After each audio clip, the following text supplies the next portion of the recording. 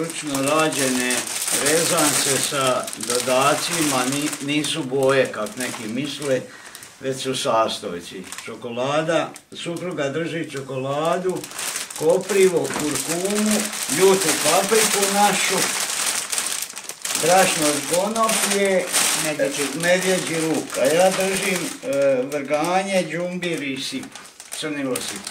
Dobro, a šta je ovo ovdje? To je pasta od medvjeđe luka.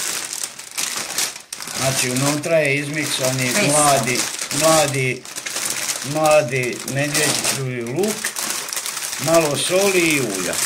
To je sve.